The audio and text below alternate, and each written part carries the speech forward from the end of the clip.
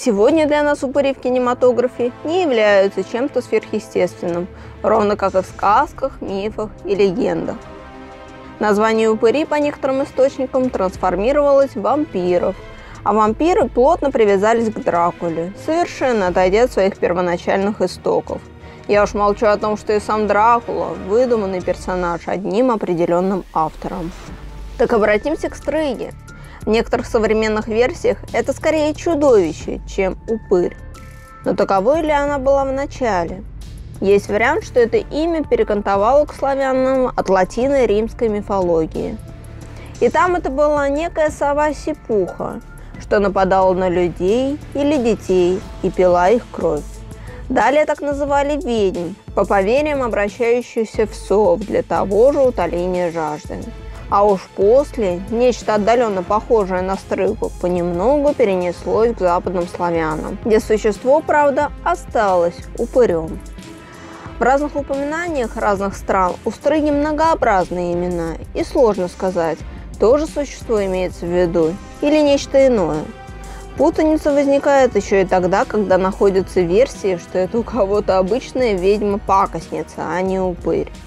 Обратимся к версии, все-таки дошедшей до самих славян, где ее величали иногда морои, штрыгой, а там, где учитывался пол существа, у некоторых их называли стрыгоем и стрыгуайкой. Поскольку их в основном связывали с упырями, считалось, что это люди, погибшие не своей смертью, что они доживали свой век подобным образом – Однако другие источники опровергают это, утверждая, что стрыгами люди, связанные со злом, становились еще при жизни, и что их хранили определенным образом, зная об этом. Еще в одной из версий считалось, что стрыга становилась черная колдунья, что опять же похищала детей, а если в семье ребенок не один, она возвращалась и за вторым – Позже стали находиться упоминания, что стриги могли размножаться, и что дети их были даже кровожаднее взрослых. Но эти источники сомнительны. Где-то стрыгу связывали с оборотнями, поскольку в образе зверя они могли иногда нападать на людей. А там, где стрыгу называли стригой, верили, что это колдуньи, состригающие колосья с чужих полей в ночь на Ивану Купалу. Как видите, версий очень много – есть где разгуляться. Самое интересное, что на территории самой Древней Руси термин «упырь», кой связан с умершим человеком, не имел такого однозначно отрицательного посыла. Чем ближе продвижение от запада к востоку на славянских землях, тем вообще сложнее определять зло и добро.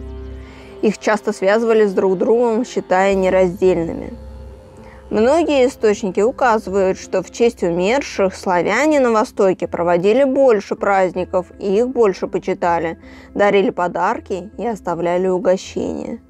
А если умершие начинали вредить, то к этому относились скорее как к гармонии света и тьмы, добра со злом. Это не значит, что они не защищались, относились по-другому. А что касается все-таки струги, Многие современные историки вовсе смотрят на этих кровожадных существ как на повод в те времена объяснить нераскрытые убийства, таинственные пропажи и в конце концов скидывают на саму инквизицию, кое относила к временам язычества страшные оттенки и тем самым даже иногда переписывали часть истории. Хотя правда все равно выходила, выходит и будет выходить наружу, откуда что взялось и где что зародилось.